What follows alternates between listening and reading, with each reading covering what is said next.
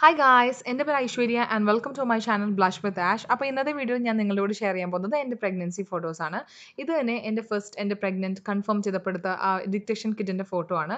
And ഇത് fifth month scan അതായത് twenty weeks ഉണ്ടായിരുന്നപ്പോൾ എടുത്ത സ്കാനിന്റെ ഫോട്ടോ ആണ്. ഇനി ഞാൻ കാണിക്കാൻ പോകുന്ന എല്ലാ ഫോട്ടോസും ഞാൻ എല്ലാ ട്വന്റി വീക്സ് തൊട്ട് എല്ലാ വീക്കിലും എടുത്തുകൊണ്ടിരുന്ന ഫോട്ടോ ആണ്. ഈ ഒരു പെർട്ടിക്കുലർ ടോപ്പാണ് ഞാൻ എല്ലാ ഫോട്ടോസിലും ഇട്ടുകൊണ്ടിരുന്നത് ആ ഒരു കൺസിസ്റ്റൻസി തോന്നാൻ വേണ്ടിയാണ് ഒരേ ഒരു ടോപ്പ് ഞാൻ ഇങ്ങനെ മെയിന്റെയിൻ ചെയ്തുകൊണ്ടിരുന്നത്. അപ്പോൾ നമ്മൾ ആദ്യം തൊട്ട് ഇങ്ങനെ കണ്ട് ഓരോ ആഴ്ച ഫോട്ടോ എടുക്കുമ്പോൾ നമുക്ക് ശരിക്കും ആ ഗ്രാജുവൽ ഗ്രോത്ത് ശരിക്കും മനസ്സിലാവും.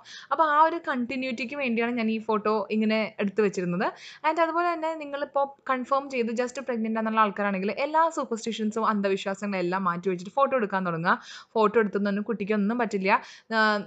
സന്തോഷമായിട്ടിരിക്കുമല്ലോ നമുക്കിതൊക്കെ കാണുമ്പോൾ പിന്നെ നിങ്ങൾ ഒത്തിരി അധികം ഷെയർ ചെയ്യേണ്ടി ഇപ്പോൾ അത്രയ്ക്ക് ഒരു ബുദ്ധിമുട്ടുണ്ടെങ്കിൽ നിങ്ങൾ അധികം ആരോടും ഷെയർ ചെയ്യാണ്ടിരിക്കുക. നിങ്ങൾക്ക് ഒരു പ്രൈവറ്റ് ആയിട്ട് ഇത് വെക്കുക. എന്നിട്ട് പിന്നെ നിങ്ങൾക്ക് ഇത് എടുത്ത് ചെറിഷ് ചെയ്യാം. ഓക്കെ. അപ്പോൾ ആ ഒരു സന്തോഷം ആ ഇങ്ങനത്തെ മൊമെന്റ്സ് ഒന്നും നമുക്ക് ഇനിയും ലൈഫിൽ അങ്ങനെ എപ്പോഴും കിട്ടുന്ന ഒരു ചാൻസ് അല്ല. സോ അതൊന്നും ഒരിക്കലും മിസ്യൂസ് ചെയ്യാണ്ടിരിക്കുക. നന്നായിട്ട് യൂട്ടിലൈസ് ചെയ്യുക. എൻജോയ് ചെയ്യുക. ഹാപ്പി ആയിട്ടിരിക്കുക. ഹെൽത്തി ആയിട്ടിരിക്കുക.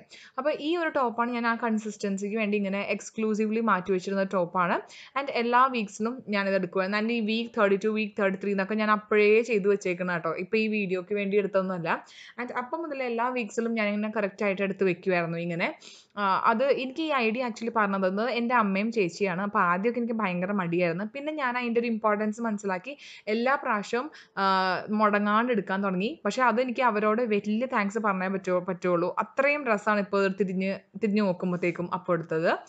പിന്നെ ഇനി ഞാൻ കാണിക്കാൻ പോകുന്ന ഫോട്ടോസ് എല്ലാം എല്ലാ മാസം ഞാൻ എടുത്ത ഫോട്ടോസാണ് അപ്പോൾ ഈ ഈ മാസം എല്ലാ മാസം എടുക്കുന്ന ഫോട്ടോസിന് ഈ ഒരു പെർട്ടിക്കുലർ ടോപ്പാണ് ഞാൻ മെയിന്റെയിൻ ചെയ്തുകൊണ്ടിരുന്നത് അതും ഒരു പ്രത്യേക ഭംഗിയാണ്. നമ്മൾ ആ ഒരൊറ്റ ടോപ്പ് ഇട്ടിട്ട് മാത്രം എടുക്കുമ്പോഴത്തേക്കും ആ ഫൈനൽ നമുക്ക് ആ ഒരു ഞാൻ ഇതൊരു കൊളാഷ് ഉണ്ടാക്കാൻ വേണ്ടിയാണ് ഇങ്ങനെ ഫോട്ടോ എടുത്തത്. അപ്പോൾ അത് ആ കൊളാഷ് കാണുമ്പോൾ നിങ്ങൾക്ക് മനസ്സിലാവും. അത് എന്ത് ആ ഒരൊറ്റ ടോപ്പ് തന്നെ മെയിന്റെയിൻ ചെയ്യേണ്ട ഒരു ഭംഗി. ആൻഡ് ഇത് സെവൻത്ത് മന്ത് എനിക്ക് കമ്പാരറ്റീവ്ലി വയറ് കുറവായിരുന്നു. പക്ഷേ എനിക്ക് നല്ല വലിയ ഉണ്ടപ്പം ആവായിരുന്നു ഇത് എയ്ത്ത് മന്തിന്റെ ഫോട്ടോ ഫോട്ടോ ആയിരുന്നു.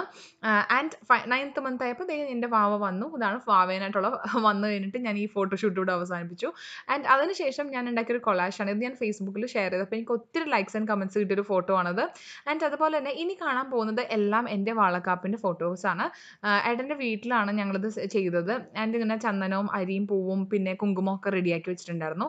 നമ്മുടെ കസിൻസ് ഫസ്റ്റ് കസിൻസ് എല്ലാവരും ഉണ്ടായിരുന്നു ഫംഗ്ഷന് മെയിനായിട്ടും ലേഡീസ് ആയിരുന്നു ഈ ഫംഗ്ഷന് അറ്റൻഡ് ചെയ്തത് ബിക്കോസ് ഇത് ഈ വളക്കാപ്പ് എന്നൊക്കെ പറയുമ്പോൾ സ്ത്രീകളുടെ ഒരു ഫംഗ്ഷൻ ആണല്ലോ ഈ പ്രഗ്നൻസി അങ്ങനത്തെ സംഭവമൊക്കെ. അപ്പോൾ എല്ലാവരും വന്ന് കുറേ കുപ്പികളെയൊക്കെ ചെന്നൈയിൽ നിന്ന് നിറച്ച് വാങ്ങിയിട്ടുണ്ടായിരുന്നു. എല്ലാ സെറ്റപ്പും ചെന്നൈയിൽ നിന്നാണ് കൊണ്ടുവന്നത്. എന്നിട്ട് നിറച്ച് ഇങ്ങനെ വളയൊക്കെ ഇട്ട് അതൊരു നല്ലൊരു നല്ലൊരു ഡേ ആയിരുന്നു. ഇതാണ് ഏട്ടന്റെ അച്ഛനും അമ്മയും.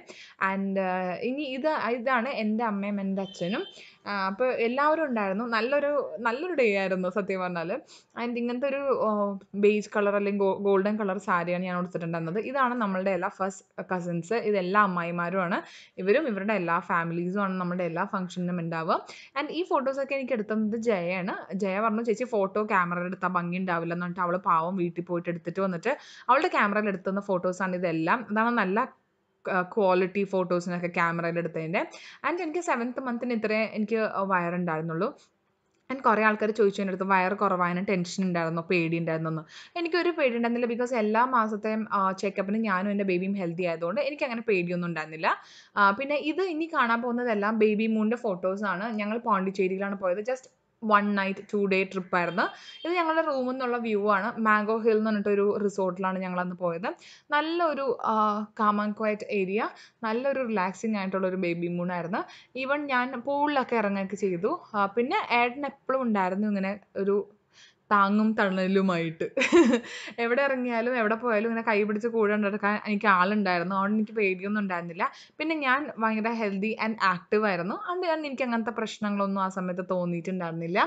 അപ്പോൾ ഈ ഫോട്ടോസൊക്കെ ഞാൻ ആ സമയത്ത് ഫേസ്ബുക്കിൽ ഷെയർ ചെയ്തപ്പോൾ എന്റെ ഒരു ഫ്രണ്ട് കുറേ നാൾക്ക് ശേഷം കണ്ടപ്പോൾ ചോദിച്ചു നീ നല്ല മിടുക്കിയായിട്ടൊക്കെ ഇരിപ്പുണ്ട്. പക്ഷെ കുറച്ച് വണ്ണം കുറച്ചുകൂടെ. വയറൊക്കെ ചാടിപ്പോയല്ലോ എന്ന് അപ്പോൾ ഞാൻ അവന് വയറ് ചാടിയതല്ല. ഞാൻ ക്യാരിയിങ് ആയിട്ട് ഇരിക്കുകയെന്നത് അപ്പോൾ അയ്യോ സോറി ഇട്ട് ഞാൻ അറിഞ്ഞില്ല.